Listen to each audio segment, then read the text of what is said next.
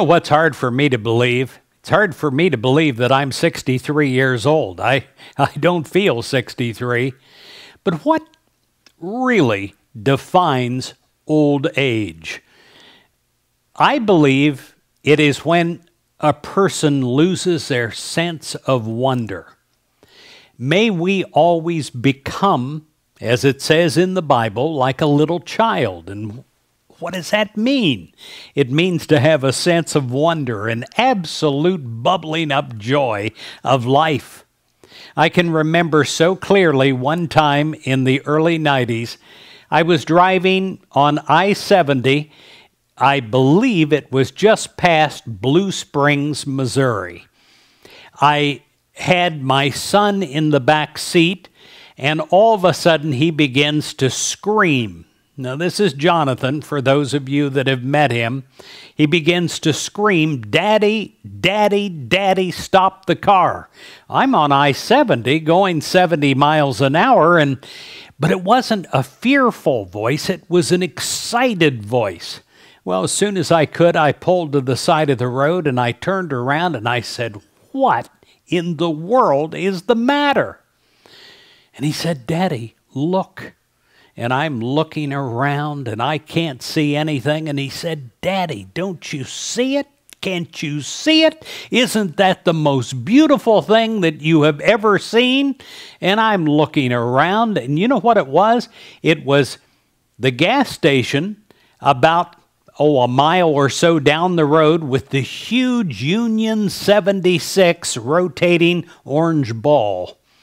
And he just thought that was the most beautiful thing in the world. And so we sat there on the side of the road on I 70 with cars zooming past, looking and gazing and seeing the wonder of the Union 76 gas station rotating ball sign. You know, I've thought about that many times. He saw something that I had become blind to.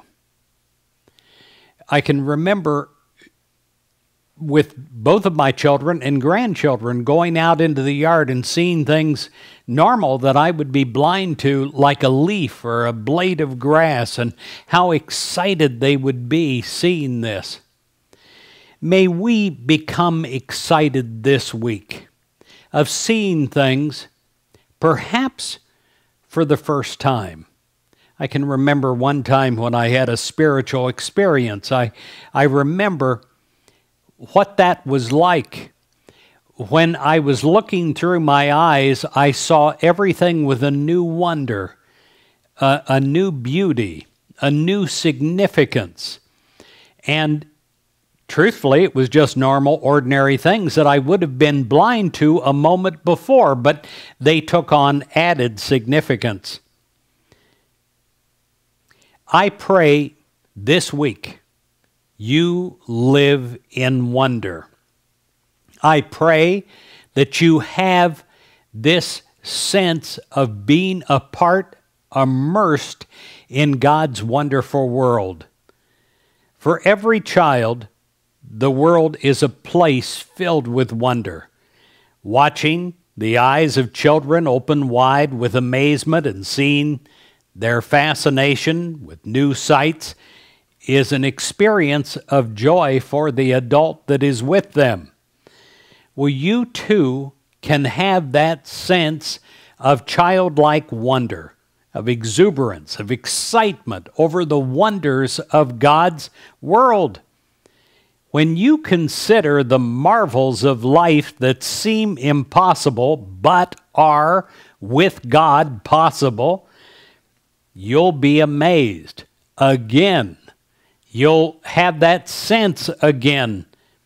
How could such a small wing lift an oversized body of a bumblebee? When they do, you will watch in wonder at something that scientists will say is impossible, and yet there it is in front of your eyes. And how does a delicate plant uh, find and then break through a tiny crack of rock or cement. And yet, it does. And you'll look at this with a new sense of wonder, the wonder of a child. God's world is wonderful. And I pray that you have that sense this week. I pray that you'll have a God life this week that finds a way to flourish and to be expressed through you. I pray in awe and wonder you say, Thank you, God, for your wonderful world that I am a part of.